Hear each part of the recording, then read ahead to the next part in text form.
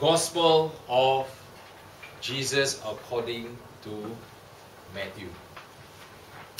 So, what is the theme of this gospel? I mean, of this uh, narrative?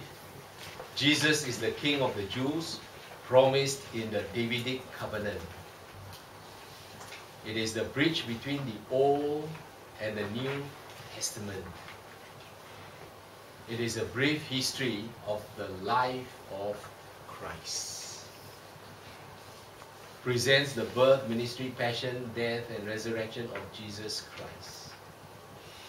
Now, before I read anymore, I, I, I need to share with you this context. Why is Matthew important? How is it relevant? And why is Matthew put in the being the first book of the New Testament? We just read it is the bridge between the old and the new. So for 400 years, uh, it's been so silent. No one heard anything from God. But now, Matthew, a tax collector, was called by Jesus and he found the truth. He knows the truth now. He knows salvation now. And so, you know, what is the burden in him? Imagine you are a Jew and you probably like the rest of the Jew wait for waiting, you are waiting for the Messiah. And now you know the truth. Are you going to keep it to yourself? No, right? You, you want to share. You want to tell all the people in, in Israel, look, I found the Messiah. He, he is Jesus. And I want to share with you all that our life depends on, our hope is in Him. But it's a major, major task. You follow me? It's a major, major task. Because these people, these stiff-necked people from before the exile to the exile and after they come back from exile, they were still going through the motion. Remember, they were more interested in building their own house than building the temple. They're more interested in doing their own thing. And and they were not really, they go through the motion, they come to the to the the, the, the temple to worship, but their heart is not there. Then here comes Jesus, and Matthew got saved. In a very short word, he got saved. And so if it is in his heart to want to share this, so what I have, Matthew, Matthew is a tax collector, so he knows the number, very careful person. So what I have uh, are the Old Testament scriptures. You follow me? And what I have here are these ignorant people. These are the Jews. And Jesus had always said, if only they had known, but they don't know because they don't know the scripture. So these people, they are my target audience. I need to tell them. But if I come and tell them, I found the truth. I met the Messiah. Well, what talking you? On what basis? What evidence? So, in order to validate what I'm going to tell them and convince them, I need to connect the past with them. You follow me? So I, I want to come, I'm Matthew, I want to come and tell these people, hey look, it's not I say, it's what the Old Testament, what the Bible say, the, the, the Old Testament say. So that's why he went through, first he started with genealogy. He tell them the history of who begot who, who begot who, who begot who, and so on. It, I know it's boring, but to the Jews it's important. So I tell you, oh, okay. So if you link all this uh, to David, okay, we know God promised a Messiah to David. And then you link all the way to Mary. Oh, okay. It, it sounds a bit more uh, realistic, more believable. And then as he went on, he said, okay, this was mentioned, written in the Old Testament, and I show you now, it is fulfilled. And then another one, and then another one. So he had to bring so much of this Old Testament to present as evidence, like in a court. you present all your evidence to persuade the judge. And so presented all this, then, oh, okay, I believe. And so, this is not exactly a very easy task for Matthew. Look at you and I. We try, now we have the whole Bible, we are more equipped than Matthew. You try and bring this, go and, go and evangelize. Not easy, right? But still, he did this. And so, these are the Jews. His target audience, the Jews. And the Jews are waiting for the Messiah.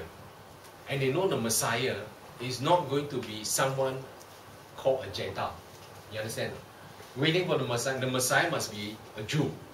That is their belief. And it is true. So if I were Matthew, I cannot come and say, present this is the King of England and he will be your Messiah. Throw me out the window, you understand? So I must present, which is a fact, I present that indeed he is the Messiah and he is the King of the Jews. You follow me? So he presented to them, King of the Jews. And to the Jews, uh, as I mentioned earlier, that the genealogy is important. If you go to Israel and you go to those places of worship like synagogue and in the past, in the temple and so on, they do record because when the child is born, on the eighth day the child has to be circumcised. For a boy, for a girl, no. And then they register the name. And they can trace the name throughout throughout, you know. So you say, Leong, Leong, Leong, Leong, Leong, Leong, Adam Leong. You know? so they can trace all the name. And to them that is really important. Until today they, they still they still keep track of their family history, their genealogy of all the people throughout the years in Israel. Now, for the Jew, okay, you want to convince me that this Jesus you talk about is the king of the Jew. Simple. Because when God started the nation of Israel, he started with who? With who? Abraham. In Genesis chapter 12, he called Abraham out of the land, out of the land of Ur. Yeah? And then told Abraham, through you all nations will be blessed. Those who bless you, I will bless them. Those who curse you, I will curse them. And so that started, he's the father of Israel, so to speak. And he's the righteous one. I mean, the faithful one, I mean. So, started from Abraham. So, first of all, you got to convince me, Matthew, you got to convince me uh, that he is a Jew. That he comes all the way from Abraham. If he comes from someone else, uh, then waste my. Secondly, as a Jew, I know that God promised a Messiah who will he will raise through the line of David. Not Solomon, not not not someone not any other king, but through the line of David. So you must convince me that first he has his roots all the way from Abraham, and then he has his roots all the way to David. Means from Abraham through David and then I believe you. So you must satisfy these two criteria. And that's what Matthew endeavored to do in the first part of chapter 1. He put us through the genealogy. Genealogy means the genesis, it means the origin, to trace. Now, in the four narratives of the gospel, how many genealogies, genealogies listing did you find? How many? Matthew is one. And the other one? Luke. Luke chapter 3. Uh, Mark got no genealogy. John got no genealogy. And then you read Luke's genealogy and Matthew's genealogy. Eh? Look quite the same, but also not the same. Yeah, this one begot who, this one begot who, and this one put the father off, the father off, is it the son off? So, a bit different. But we settle that one later. But right now, I just want to ask you, why Mark got no genealogy and why John got no genealogy? Huh? Okay. Matthew, Matthew was pre presenting Jesus as the king of the Jews. So if you want to tell me he is king, then I want to make sure he has got royal blood. You can prove to me, link to Abraham and link to David. So that's why must have the genealogy. Mark presented Christ as the servant of God. A servant got no status.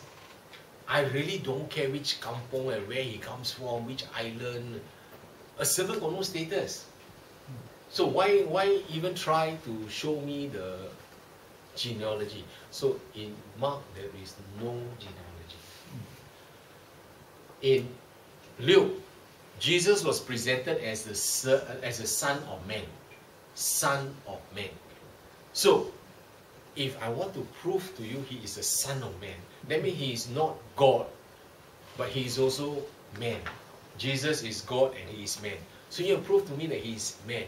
Okay, then you must show the genealogy. So show again the genealogy.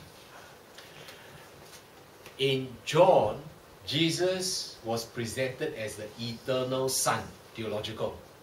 Eternal. In the beginning. That's why he had to go all the way back to the beginning, right?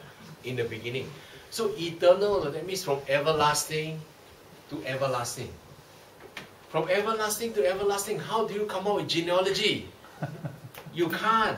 It's too much. Because it's eternal God, eternal Son. So no genealogy. So now you know why these two gospel, uh, these two narratives got genealogy and the other two do not have. I'm quite chongy. I haven't started this one. but interesting. Uh? I hope so. And I tell you, this wasn't mentioned 12 years ago.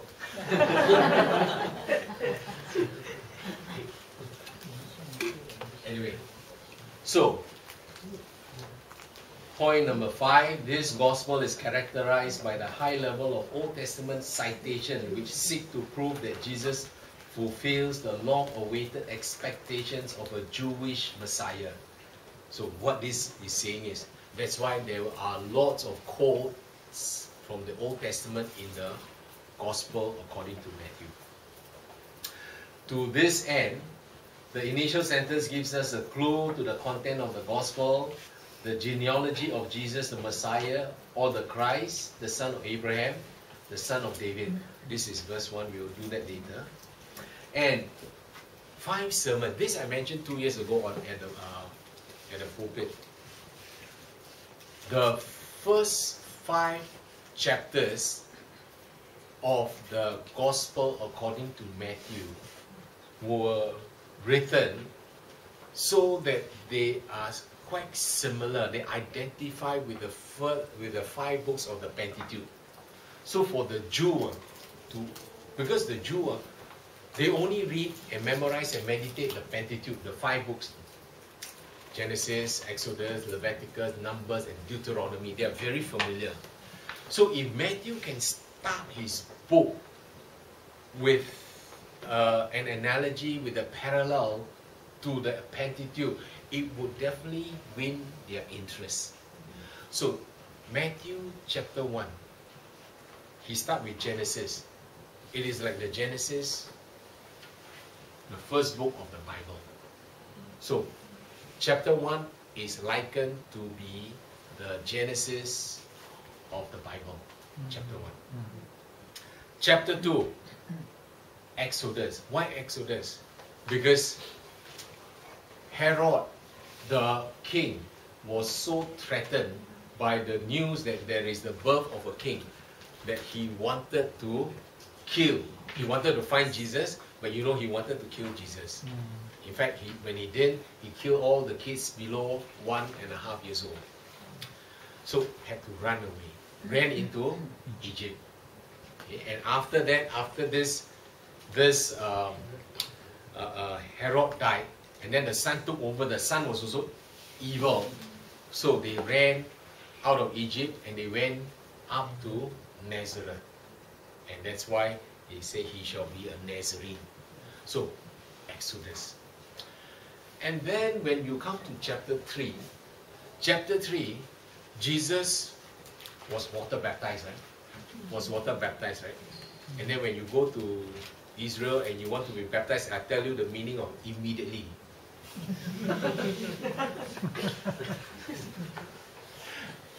You, you, you know, you know, you read uh, uh, Jesus went into the water and uh, immediately he came out. So for the longest time, uh, most people don't understand why the word immediately. We were baptizing, I was baptizing them in winter, it's cold. so I said, can you quickly come in and quickly go out? immediately, otherwise it's so cold. Okay, anyway. So, but John said, I shouldn't be baptizing you, you should be baptizing me. But Jesus said that all righteousness be fulfilled. To fulfill the what? The law, the requirements. So it is likened to chapter to the third book of the Bible, which is Leviticus. The law, the instructions. Then when you come to chapter 4 of Matthew, Jesus, after he was water baptized in chapter 3, he was led by the Holy Spirit into the desert, right? Into the wilderness. And he fasted 40 days. And at the end of the 40 days, the devil tempted him. But he was in the wilderness.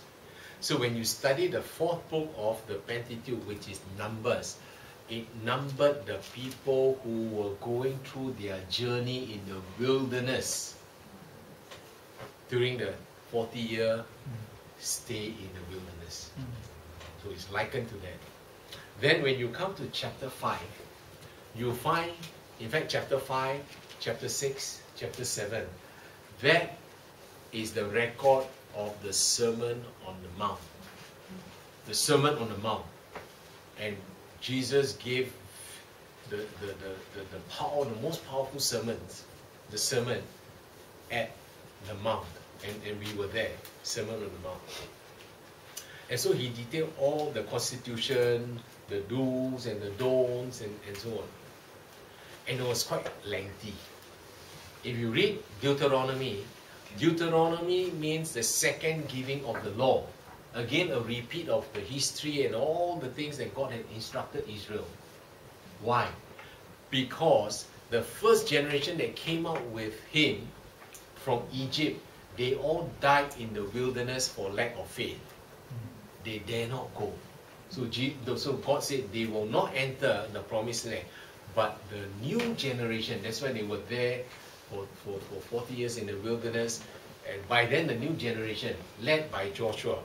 So, in order to prepare them so that they know the history before they enter the promised land, Moses gave, delivered the second giving of the law. So, he repeated all the history, lengthy. And that is likened to chapter 5, the Sermon on the Mount. So, this this will definitely draw the interest of the Jewish reader. Oh, okay, I can identify with that. And in this book, it is not dry. It is going to be very interesting read because it is communicated to us in words and in deeds. So not what Jesus taught or what he spoke, but also what he did so that it will interest the Jewish reader. The key verses. Here you find in Matthew chapter 12, verse 23. And all the multitudes were amazed and said, Could this be the son of David? Could this be the son of David? All the multitudes. So they were curious. So they have heard him, they have seen uh, his ministry. So they asked, could this be the son of David? Because David's line is supposed to emerge a Messiah. So this means that Matthew was doing his job by trying to bring all of this to a, a, a, a decision that these people could make to know that this is Jesus, the Messiah. And of course, we know Matthew 28, verse 19. Go therefore and make disciples of all the nations, baptizing them in the name of the Father, of the Son, and of the Holy Spirit, teaching them to observe all things that I have commanded you, and lo, I am with you always, even to the end of the age. Amen. This one I will elaborate when we get to chapter 28. Now, this next part, the quote, you will find very uh, occurring frequently in the gospel according to Matthew, that it might be fulfilled, that which was spoken by the prophets. And Matthew is, he wrote this to authenticate what he has just uh, reported. Okay, this happened, but this was to fulfill that which was spoken by the prophet. So to draw the Old Testament out to validate whatever happened now. So direct quotations from Old Testament, there were 29 and indirectly there were 121 uh, references. And uh, he also quoted not just, I mean he quoted from Isaiah, Jeremiah, Hosea, Micah. All this. These are noted and known prophets of old that the Jews are familiar with. Then we have the birth. Okay. Uh, in, in, this outline, uh, in this outline, the book, this book is divided into four sections. But later I like another one which has got five sections. But if you like this, these four sections are the birth and preparation of the king, chapters 1 to chapter 4, verse 11. Then you have the great Galilean ministry of the king because he spent most of his ministry up in Galilee, in Capernaum. And then he returns to Jerusalem, chapters 19 to 20. And finally, the final week of the king in Jerusalem. 21 to 28. Now, in this uh, narrative by Matthew, you will find this very uh, commonly used. Kingdom of Heaven. And Kingdom of Heaven is only found in the book of Matthew, not anywhere else. Because elsewhere they use Kingdom of God kingdom of God. Now, kingdom of heaven is in simplicity the kingdom, the kingdom of God on earth. That's what some some scholars wrote. But I I, think I think because um, Matthew was writing to the Jews. I know the Jews uh, will not even spell. I mean, the name God uh, is like so sacred and holy. So, um, instead of using God, even today you read literature, you read writing, they put G and then dash D. They will not spell it. They don't think they are worthy to spell and to call the name. So, he used kingdom of heaven. And let me tell you, many scholars uh, use interchangeably. Kingdom of God, kingdom of heaven, they are equivalent. But if you want to look at the diagram, you look at the diagram, so overarching, that means the overall one, of course, is kingdom of God. And he created the heavens. So, he also, God also rules and reigns the first king heaven, second heaven, third heaven, all. And of course, the church comes there in the center. We are under. Okay? So we have the kingdom of heaven above us, and overall is the kingdom of God. So when you read elsewhere, you will not find kingdom of heaven except in this book of Matthew. Still on the introduction, you have, I, I, I thought I, I, I give you some definitions. um, before we get started. In fact, we haven't get started. This is still introduction. the Pharisees. Now, you you need to know um, this. Pharisees. The Pharisees are, in short, they are like the religious policemen. They are the legalists. They are the conservatives. And they do go about policing and to ensure compliance. Hey, you walk too much on the Sabbath. You carry too much. And, and you are you, you are not fulfilling this requirement, you are, you, are, you, are, you are unclean. The Pharisees arose to defend the Jewish way of life against all foreign influences. They were strict legalists who believed in the Old Testament and who were nationalists in politics. So, they believe in the Old Testament fully. In fact, they even added a few more. Uh, the, the, the laws and so And they're nationalists, that means they really defend their zealots. I mean, they really defend, they stand up for the country. Nationalists in politics. So these are the Pharisees.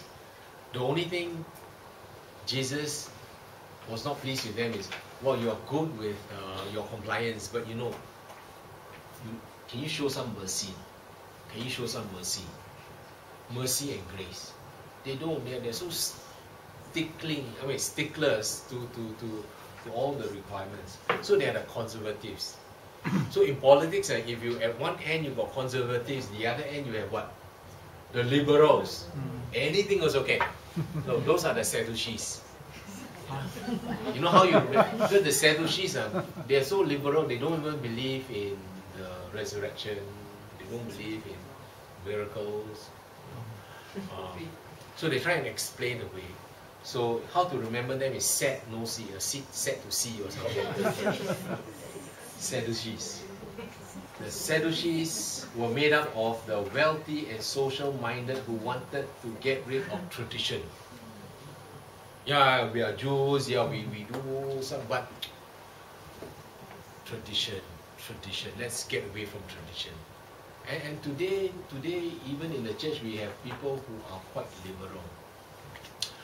It's okay, God, God uh, love, love, uh, uh, is love, God will forgive, so LGBT is fine, abortion is fine, I mean, and, and, and uh, this and that. So they are the liberals.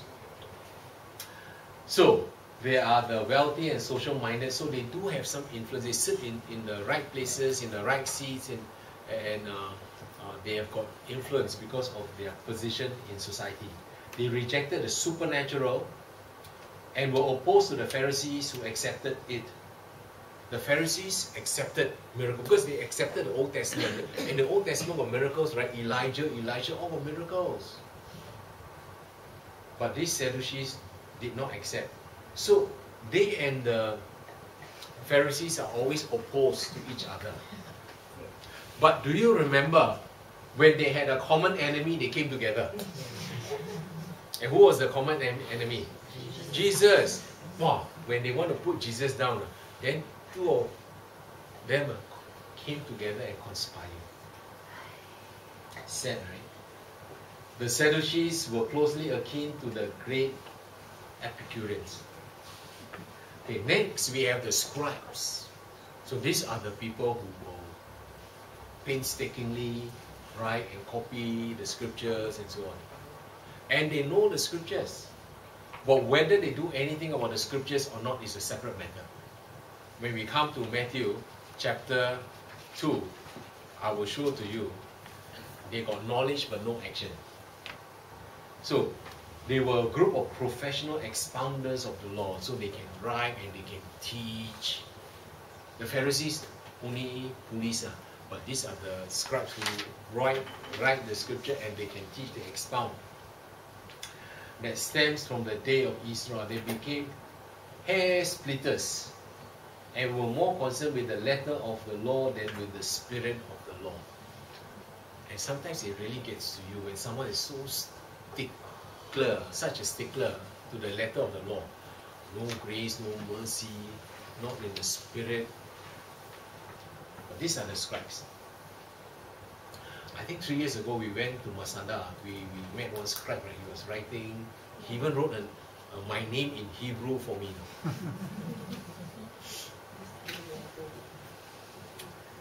Herodians. Then we have the Herodians. Now, during Jesus' time, there was Herod the Great.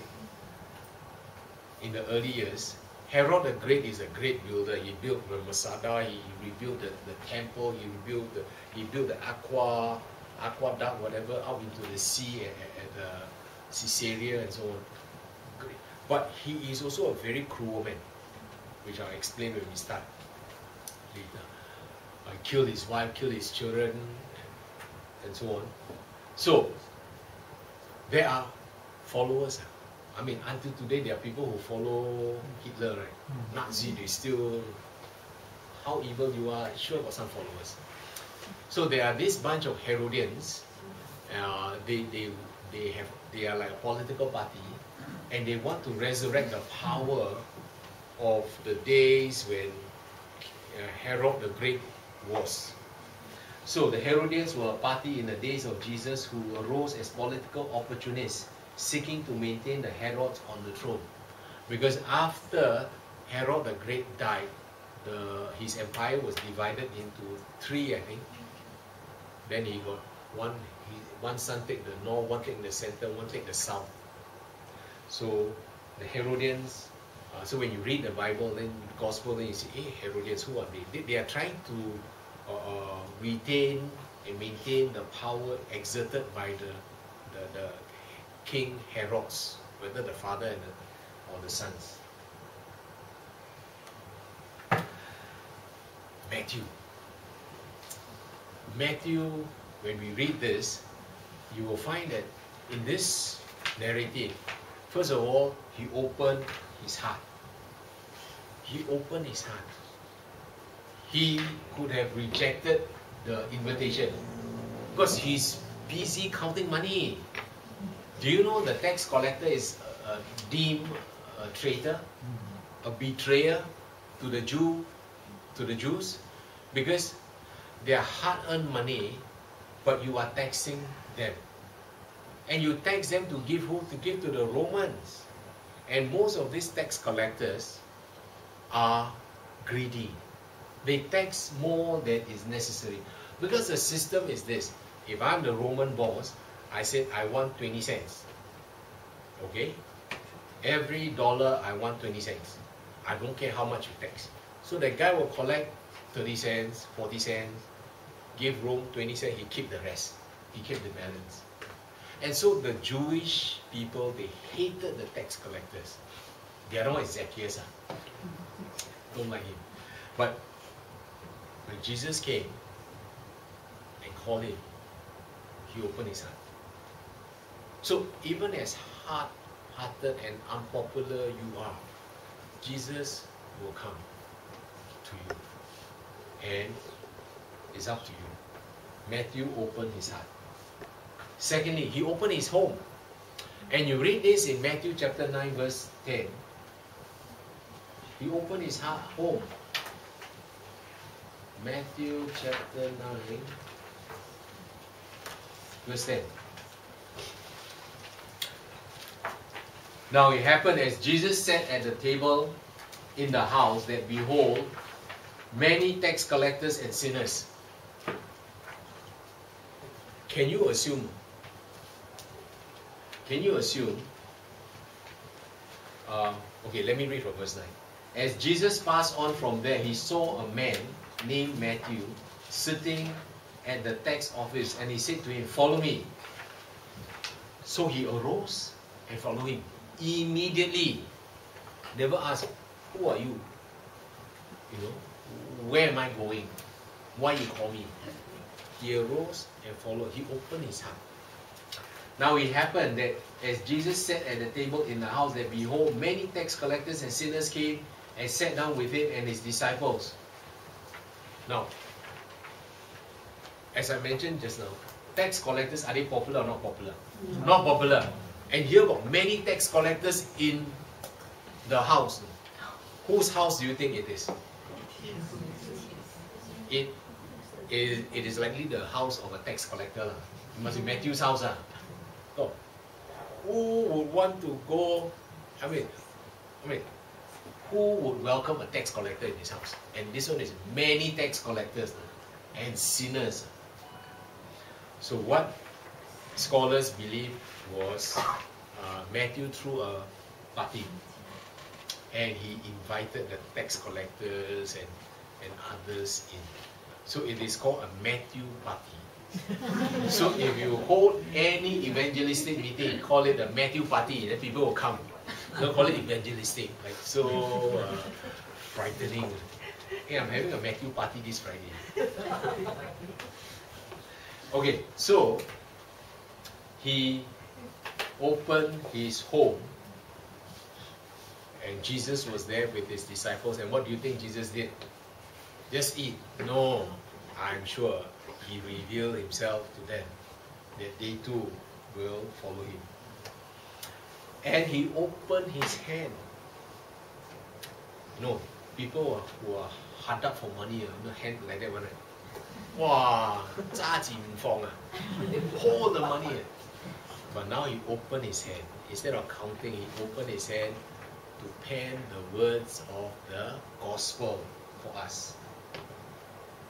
And Jesus chose the right person. Because a tax collector is likened to a tax accountant or what. He counts. Uh, he's very detailed, very organized, very systematic. And so this, this uh, narrative that he wrote for us in 28 chapters must be something that he ordered. He placed in good order and with facts and with uh, good reference from the past to put them together. Just looking at the first five chapters, the Jew will know that this is written by a Jew and intended for him. Just reading the first five chapters. So, Jesus chose the right person who opened his heart, opened his home, and opened his hand. So the same lesson for us.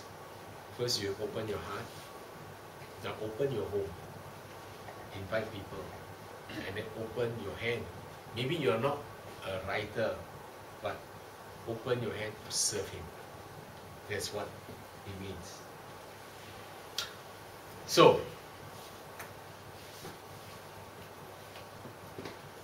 I don't think I can start verse 1. this will set us well, so next week when we start the first 1, you will be all ready. The five section, sections which I like uh, is this. The king Review, chapters 1 to 10. Because uh, Matthew got to make every effort to show it to them, to present evidence. And then chapters 11 to 13, the king resisted. You must read carefully. It's not Jesus resisted. The people resisted him the hmm. king resisted by the people. And chapters 14 to 20, the king retreated. Chapters 21 to 27, the king rejected. Then I like chapter 28, the king resurrected.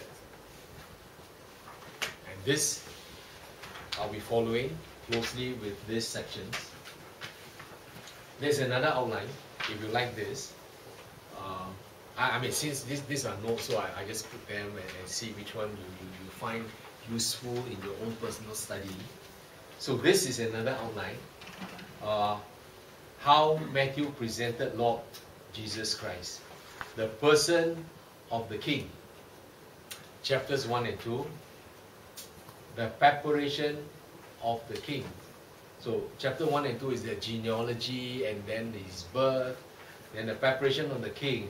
So it started by him being water baptized and then he went into the desert. And then the propaganda of the king. So what we have there is uh, Sermon on the Mount, the constitution of the kingdom of God. Chapters 9 onwards to 16, we have a program of the king. And then chapters 16, 21 until 27, we have the passion of the king. So you know the movie Passion of Christ. Anyone watch? Anyone? I, I haven't watched. Find wow, very sad. Eh? I got to use a lot of tissue paper. But I bring you to the dungeon below where Jesus was uh, chained and where he was uh, whipped and then before he was crucified. Uh, I, I think then you really feel the passion of Christ. And then the power of the King, the resurrection power of the King. Chapter 28.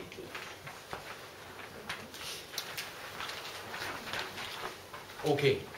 Um, book of the generation. So as you study this, as you study this and you look at the genealogy and so on, um, you and, and if you are Matthew and you're trying trying to convince convince the the Jews, then you you say okay, let's look at Adam. We are all men, right? We're all men. So you look at Adam. We got into this human race uh, in the flesh as we are. By birth, we were born into this world. But, but, the outcome of this is we will die. We will all die. You enter into the book of death. You look at Romans 5 verse 12.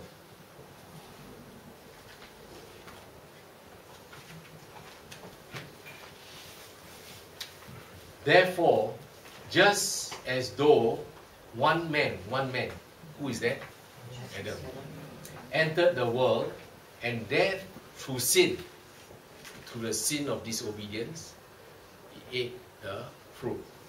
And thus death spread to all men because all sin. When God made Adam, he said it was very good and it was meant for man to be with him forever and ever. But through that one man, he sinned. So all of us sin. Death spread to all men because all sin. So, what Matthew is trying to impress upon his Jewish readers or listener is, look, you and I are sinners, condemned for death. You understand? He has to start from there. He okay, so this is the problem. We are all sinners and we are condemned. So he has to bring out the solution. And the solution is found in the person of Jesus. I'm putting it very simply. Are you out with me? Okay? So trying to win over the Jewish people. So and you're all from Adam, and then you got in by birth, and then you end up in the book of death. But, but, there is Jesus. And you get in by a new birth. You must be what? Born again. And when you do, it is not the book of death, but Lamb's book of life. You see the difference. So, you if you offer something that they already know and there is no change, what news is that? But what I'm telling you is, whatever you have is bad news. I've got the good news for you. This is better than what you have. And this is through the person of Jesus. And you must get in by the new birth so that you will be in the Lamb's book of life. So John 3 3. Jesus answered and said to him, Most assuredly I say to you. And you know who he said to, right? Nicodemus. Unless unless one is born again, he cannot see the kingdom of God. So you're born again. This is a spiritual birth. The first birth is your physical birth. So, this is uh, Matthew's approach even to address this Jewish people. So I will stop here. And next week we will start with chapter 1. So, Father, we thank you so much for this word preserved for us. And even as you have targeted this book to the Jews, Lord, it is also for us because we are also descendants of Abraham. We are also uh, beneficiaries of the blessed hope, the promises. And surely, Lord, we take heed of all that you have written and taught unto us, and that we will continue in our sojourn here on earth purposefully and meaningfully and relevantly and being of use and service unto you. So as the weeks go by, we pray that you will continue to teach us that we can be of great use for you. In Jesus' name. Amen.